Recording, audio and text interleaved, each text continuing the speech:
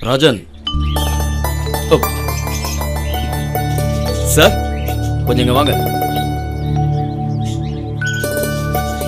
Good morning sir good morning urgent எதுவும் இல்லைன்னா கொஞ்சம் பேசலாம்னு நினைக்கிறேன். நாங்கள் ஏன் கெட்டப்பு மாற்றிட்டு வந்தோன்னே டைம் வரும்போது சொல்கிறேன்னு சொன்னால ஆமாம் சார் இப்போ அதை சொல்கிறதுக்கான நேரம் வந்துருச்சு. சார் ஒரு லெட்டர்னால தான் கிரைம் பிரான்ச் இந்த கேஸில் இன்வால்வ் ஆச்சு. முருகன் எழுதின நோ நோ நோ, அது இல்லை. நான் ஒரு இன்லன் லெட்டரை பற்றி தான் சொல்கிறேன் பிரகாஷ் அந்த லெட்டரில் கண்டென்ட் இவ்வளோதான் பத்ரா எப்பவும் தற்கொலை பண்ணிக்க ட்ரை பண்ணுறவன்னு தான் லவ் பண்ணுற பையன் தன்னை ஏமாத்திடுவானோன்னு பயமும் துக்கமும் அவளுக்குள்ள இருந்திருக்கு. அதனால பத்ரா தற்கொலை பண்ணியிருக்கலாம். வந்தது மொட்டை கடுதாசி தான் எழுதின ஆளோட பேரோ அட்ரஸோ இல்லை. ஆனால் போஸ்ட் பண்ணியிருக்கிறது இங்கே இருந்தான். மொட்டை கடுதாசியாக இருந்தாலும் அது மேலே இருக்கிற அட்ரஸில் தான் விஷயமே இருக்கு. ஏன்னா சிட்டியில் தங்கி இருக்கிறவங்களுக்கு டிஜிபி ஆஃபீஸ் அட்ரஸ் கிடைக்கிறது அவ்வளோ சுலபம் இல்லை. அப்போ சிட்டியில இருந்து முந்நூறு கிலோமீட்டர் உள்ள இருக்கிற இந்த கிராமத்துல இருந்து இந்த பின்கோடை தெரிஞ்சவங்க ஒருத்தங்க இருக்காங்கன்னா அதுவும் எழுதினவங்க ஒரு பொண்ணா. இந்த லெட்டரை பார்த்ததுக்கு அப்புறம் தான் கிரைம் பிரான்ச்சுக்கு விஷயமே புரிஞ்சது. போர்ஷனை கன்ஃபியூஸ் பண்றதுக்கு முயற்சி பண்றாங்களோன்னு தோணுச்சு. லெட்டர் எழுதி வச்ச பொண்ணோட நோட் புக் தான் இது. ரெண்டுலேயுமே ஹேண்ட் ரைட்டிங் ஒரே மாதிரி தான் இருக்கு. டெஸ்ட்ல அதை நாங்கள் கன்ஃபார்ம் பண்ணிக்கிட்டோம். பத்ராவோட லவ்வர் சசி இப்போ கிரைம் பிரான்ச்சோட கஸ்டடியில் தான் இருக்கான். இந்த லெட்டர் எழுதின பொண்ணும் அவனோட லவ்வருங்கிற விஷயம் கன்ஃபார்ம் ஆயிருக்கு. யார் சார் அந்த பொண்ணு? தான் காதலிக்கிற பையனை இன்னொரு பொண்ணு காதலிக்கிறான்னு தெரிய வரும்போது ஏற்படுற வேதனை வருத்தம் வெறுப்பு. இதெல்லாம் தான் பத்ராவோட கொலைக்கு காரணமா? இல்லை போலீஸோட கவனத்தை திசை திருப்பறதுக்காக தான் இந்த மொட்டை கடுதாசியை எழுதியிருக்கலாம் அந்த திருடனை விசாரிக்கும் போது என்ன சொன்னான்? மலைக்கு அந்த பக்கம். ரெண்டு பேர் நின்று பேசுறத பார்த்தேன்னு சொன்னான்ல லெட்டர் எழுதின அந்த பொண்ணு யார் சார் ம். அன்னைக்கு ஒரு நாள் நீங்களும் உங்க போலீஸ்காரங்களும் முகமுடி போட்டவனை துரத்துனீங்களே அது நான் தான். நான் இந்த நோட் புக்கை எடுக்கிறதுக்காக தான் அன்னைக்கு உங்க குவார்டர்ஸ்க்கு வந்தேன்.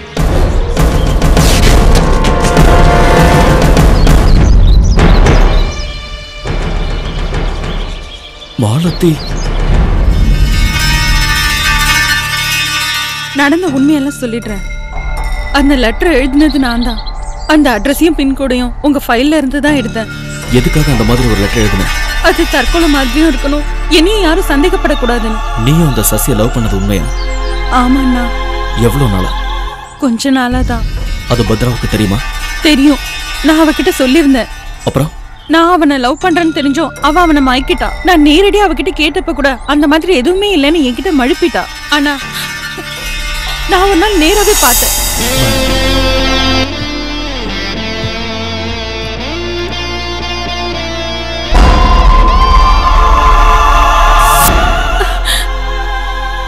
நான் கண்ணால பார்த்தத பத்தி அவகிட்ட கேட்டேன். நீ எல்லாம் ஒரு ஃப்ரெண்டாடி என்னடி என்ன பார்த்து இப்படி கேக்குற? கையெடு. நான் லவ் பண்றது தெரிஞ்சு அவனை கட்டி பிடிச்சிட்டு நிப்பியா என்ன லவ் பண்றேன்னு முதல்ல அவன் தானே வந்து சொன்னா? உன்னை பத்தி நான் அவன்கிட்ட கேட்டதுக்கு நீ அவனுக்கு ஒரு நல்ல ஃப்ரெண்டுன்னு சொன்னாண்டி. ஒரு வார்த்தை என்கிட்ட கேட்டிருக்கலாம்ல. என்ன சொல்ற? நான் லவ் பண்றதுக்கு உன்கிட்ட வந்து பெர்மிஷன் கேட்கணுமா? டென்ஷன் ஆகாம நான் சொல்றது கொஞ்சம் நிதானமா கேளு.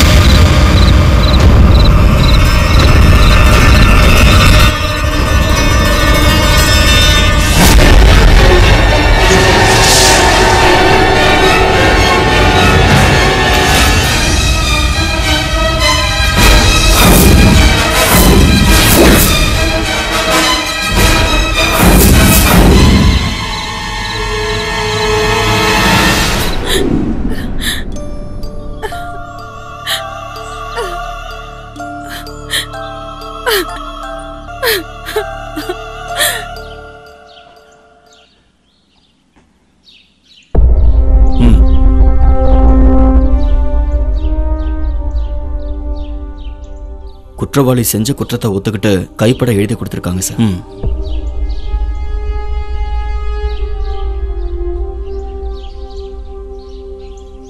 நான் ரிசைன் பண்றேன் சார்.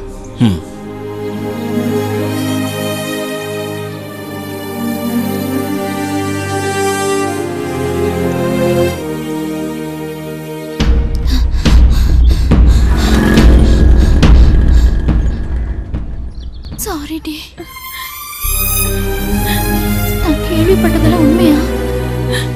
அனாவசியமா விட்டுட்டேன்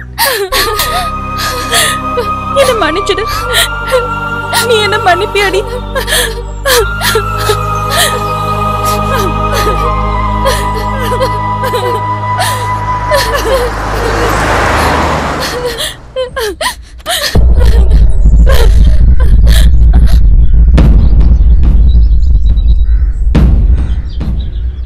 நான் கேள்விப்பட்டதெல்லாம் உண்மையா? இத நான் நம்ப மாட்டேன். இவ அண்ணனை காப்பாத்துறதுக்காக நீ கொலை செஞ்சேன்னு ஒத்துக்கிட்டியே. என்ன பேச விடு. பேசித்தான் ஆகணும். நீ சுமாரு நீ சொல்லு. உங்க அண்ணன் தான் உனக்கு சொல்லி கொடுத்தானா? நீ முதல்ல குத்தத்தை ஒத்துக்க அப்புறம் நான் உன்னை காப்பாத்துறேன்னு. என்ன கொடுமையான உலகண்டா இது. கொலை செஞ்சத ஹலோ நீ இங்க நின்னு கத்திக்கிட்டு இருக்காதீங்க. உள்ள மீட்டிங் நடக்குது. கேட்கட்டுமே எல்லா ஆபீசர் காதலையும் விழணும்னு தான் கத்திக்கிட்டு இருக்கேன். ஹ, அண்ணன் தங்கச்சிய கொலைகேஸ்ல மாட்டி விட்டுட்டு வேடிக்கை பார்க்கறான். அந்த ராஜுவை காப்பாத்துறதுல உங்களுக்கு என்ன இவ்வளவு அக்கறை? அதுவும் கூட பிறந்த தங்கச்சிய மாட்டி விட்டுட்டு கடமை உணர்ச்சிக்கு ஒரு அளவே இல்லையா? உங்களுக்கு பேரும் புகழும் கிடைக்கணுங்கிறதுக்காக எந்த கர்மாந்திரம் முடிச்சவனையும் தப்பிக்க விட்டுருவீங்க. அப்படித்தானே? நாசமா போயிடுவீங்க. கொஞ்சம் நிறுத்துறீங்களா? வயிறு எரியுது எனக்கு. தேவையான சாட்சி ஆதாரம் இருக்குன்னு தானே முதல்ல அவனை உள்ள வச்சாங்க. இப்ப புதுசா ஒரு கதையை ஆரம்பிச்சிருக்காங்க. மிஸ்டர் கங்காதர். ஆ, இந்த பொண்ணு தான் குற்றவாளியா இல்ல நாளைக்கு வேற பொண்ணை கொண்டு வந்து நிறுத்துவீங்களா? உங்க இஷ்டப்படி மாத்துவீங்க யாரும் கேட்க கூடாதா இனிமே இங்க நின்று கலாட்டா பண்ணீங்கன்னா நாங்க பார்த்துட்டு சும்மா இருக்க மாட்டோம். அப்பா கூட்டிட்டு போமா வாங்கப்பா நம்ம போயிடலாம். அப்பா. இப்போ போறேன். சும்மா விட்டுருவேன்னு நினைக்காதீங்க. என்ன விடு. விடுன்னு சொல்றேன்ல. ஹைகோர்ட் இல்ல சுப்ரீம் கோர்ட்டுக்கும் போக தயாரா இருக்கேன்.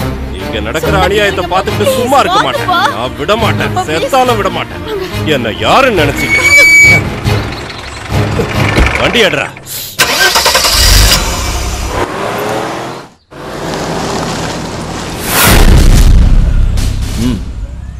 இவங்க எதுக்கு வந்திருக்காங்க? குற்றவாளி அரெஸ்ட் பண்ணுறதுக்கு சார் இங்கே லேடி கான்ஸ்டபிள்ஸ் இல்லை. அதான் பக்கத்து ஸ்டேஷன்லேருந்து வர சொல்லியிருக்கேன். அவங்கள அனுப்பிடுங்க. சார் அவங்கள அனுப்பிட்டா வேணும்னா ஃபோன் பண்ணி வர சொல்லலாம். சாரி நீங்கள் போங்க. சார் தள்ளி விட்டது உங்கள் தங்கச்சி தான். அதில் எந்த சந்தேகமும் இல்லை. ஆனால் அவள் இறந்ததுக்கு அது காரணம் இல்லை.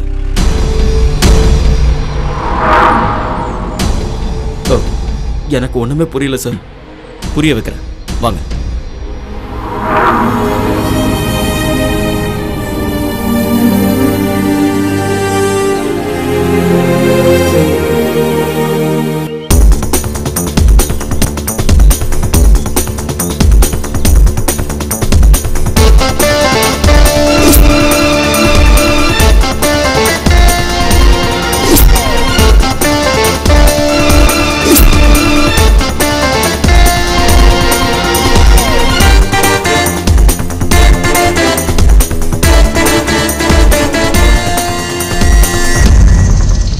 பத்ரா இறக்கும்போது இந்த ட்ரெஸ் தான் போட்டுக்கிட்டு இருந்தாங்க.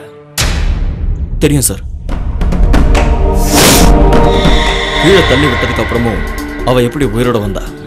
இதோ இங்க இருக்கிற மார்க் தான் அந்த சந்தேகத்தை எழுப்பிச்ச. கீழே விழும்போது இந்த சகுதியிலேயோ மண்லையோ பட்டுதான் இந்த கரை ஏற்பட்டிருக்கும்னு ஆரம்பத்தில் நினைச்சேன். ஆமா சார் நானும் அப்படிதான் நினைச்சேன். ஆனா விவரமான ஃபாரன்சிக் பரிசோதனையில இந்த கரை ஏற்படுறதுக்கு மண்ணோ சகதியோ காரணம் இல்லை. சாணியோட கரைன்னு தெளிவா தெரிஞ்சது. அந்த பள்ளத்தாக்குல எப்படி சார் சாணி இருக்கும்? இருக்கிறதுக்கு எந்த வாய்ப்பும் இல்லை. அப்படி இருந்தும் இந்த ட்ரெஸ்ல சாணி கரை வந்திருக்கு. அது எப்படி?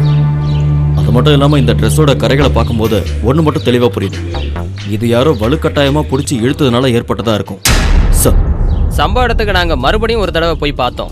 அப்போ எங்களுக்கு ஒரு எவிடன்ஸ் கிடைச்சது. அந்த இடத்துல சாணி இருக்கிறதுக்கான வாய்ப்பே இல்லை. அப்புறம் எப்படி அந்த கரை இந்த ட்ரெஸ்ல வந்தது? அதுதான் இன்னொரு ஆங்கிள் எங்களை விசாரிக்க தூண்டி விட்டுச்சு நாங்க கண்டுபிடிச்சது உண்மையாகணும்னா ரெண்டு விஷயங்கள் தெளிவாகணும் ராஜன் ஒண்ணு மாலத்தை தள்ளி விட்டதுக்கு அப்புறம் அந்த பொண்ணு எப்படி தப்பிச்சா? மறுபடியும் எப்படி கொல்லப்பட்டா?